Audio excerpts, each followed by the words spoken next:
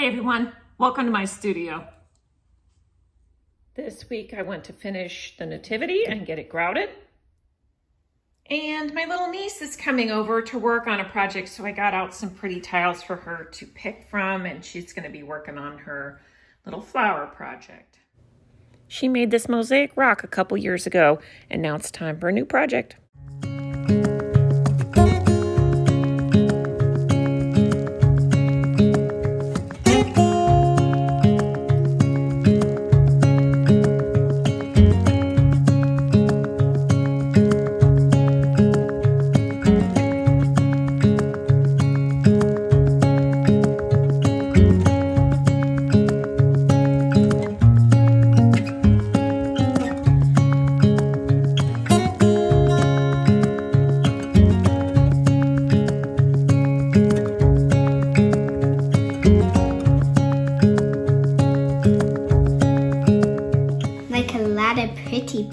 Pretty, pretty ones. Mm-hmm.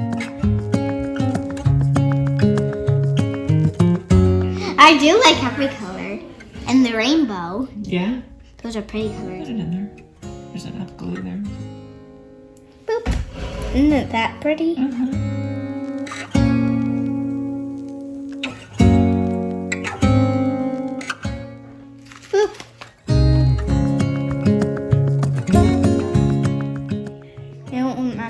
To be messy.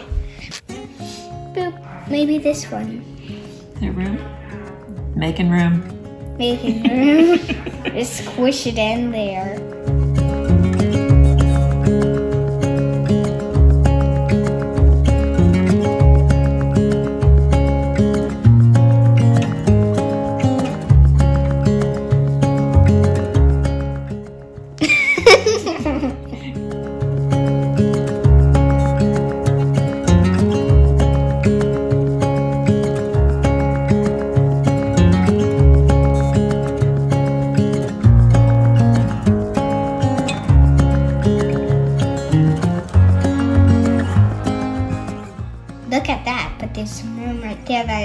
Just fill it up with mulch. Or grout.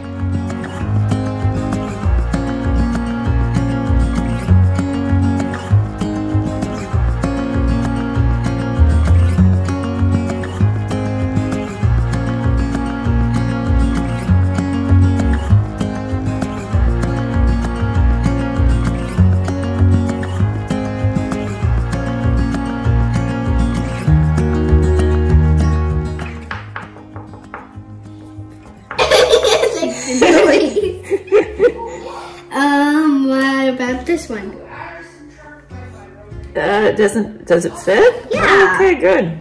I know you like those shiny ones. Okay, that's gonna be in with mulch. A lot of mulch there. Oh. Too far of a book.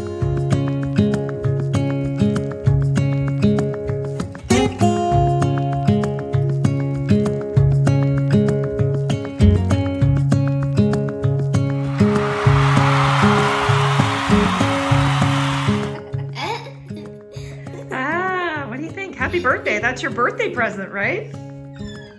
Let's go in the closet and look at it.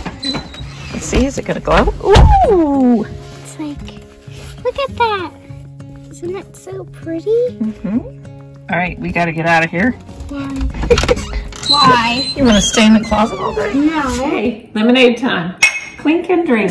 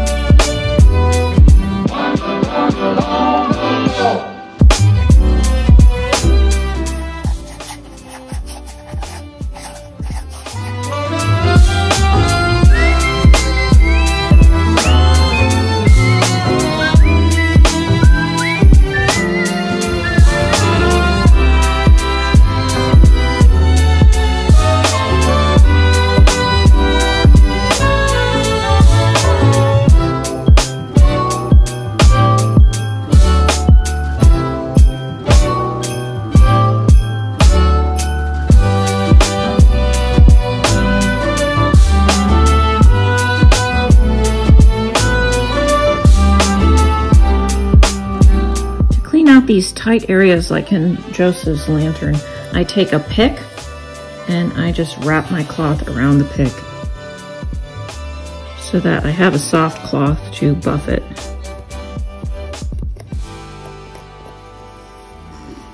I'll go around and do detailing on all the edges also with this.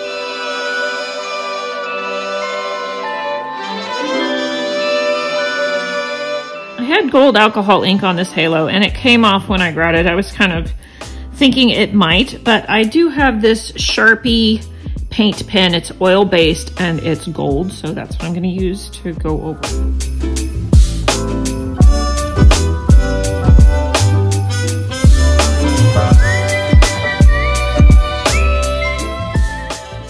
Actually had to go out to Michael's craft store to get this gold Sharpie. But while I was there, I wasn't shopping for this, but I found these ornaments that are so great with that recess in there that they're perfect for using with some mirrored glass and all these pretty beads, silver and white. I might even put light blue in them. I can't wait to do those this week too. To prep these snowflakes, I decided I want to paint the top but not the sides. I, I think it would take too long to paint the sides, but I like the idea of it being white on the top. Using Apple Barrel Craft acrylic paint in white.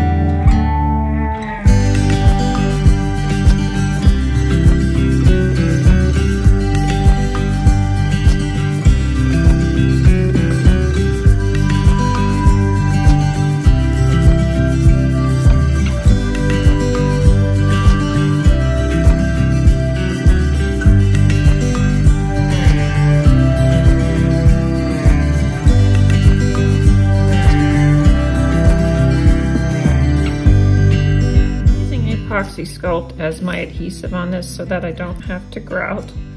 And one tip I'll give you is to not overfill these little areas because when you put your pieces in, it's going to push some of this adhesive aside and into the cracks and so you don't need too much. You don't want it coming out over the top. Another tip I can give is that I have pre-cut some pieces to put in here because I know that I have limited time and I want to work quickly once I mix up the epoxy Sculpt. Because I have a bunch of these that are the same, I set my pieces aside in another one and then I can just move them over when my epoxy is ready. And it's really nice, uh, especially with these mirrored pieces, I can sort of angle them differently so that it captures the light. It gives it a lot more sparkle and twinkle that way.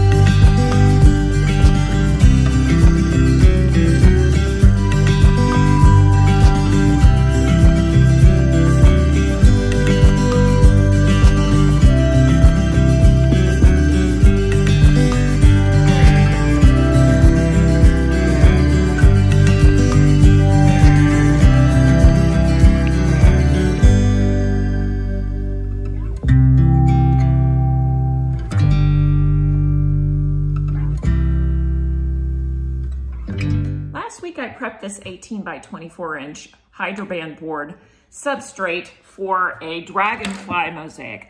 Uh, but this is as far as I got. I just wrapped the edges, put the hanging hardware on, and applied a couple coats of thin set sanding after each coat. And now I think I'm gonna put one more layer, just a skim coat to make the whole base white. and a skim coat on the back to clean up the back. And I'll be doing the design work. So let me get after it.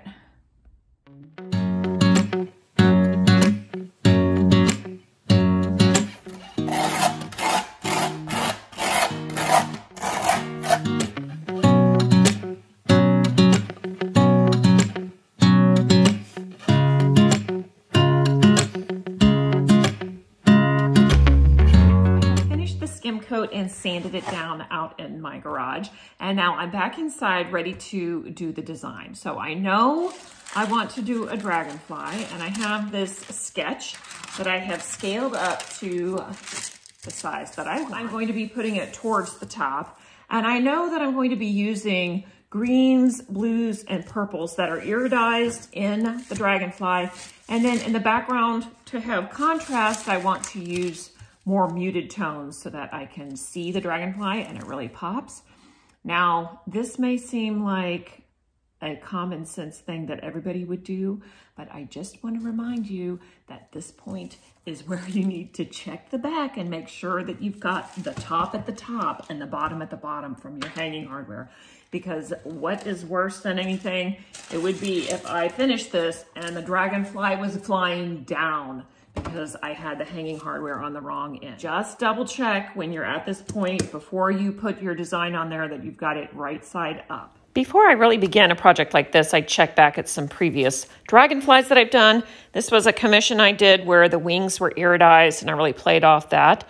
This was a stepping stone. Again, I used iridized glass, but the body was a purchased piece of metal and the background was done with Opus Palladianum. Then I move on to this commission, which was for a red dragonfly, quite a bit fatter. Again, I used the iridized glass, and I put a link up above to where I started this one. The background, I laid the glass with Opus vermiculatum around the body and then filled in the rest. And I have, of course, my bluebird fountain. I put two dragonflies on there. I really like the fused glass dichro dot on the body. Really popped. Yeah.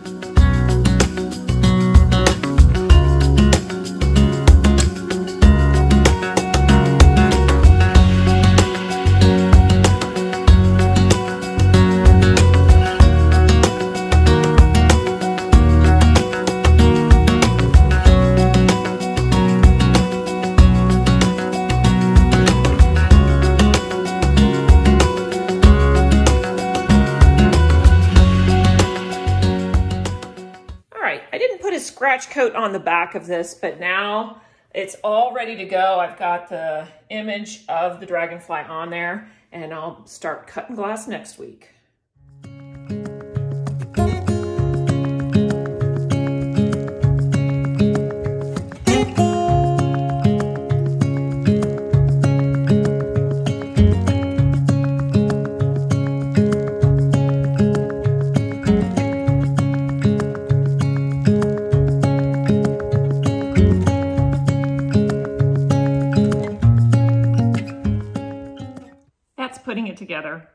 Watching. See you next time.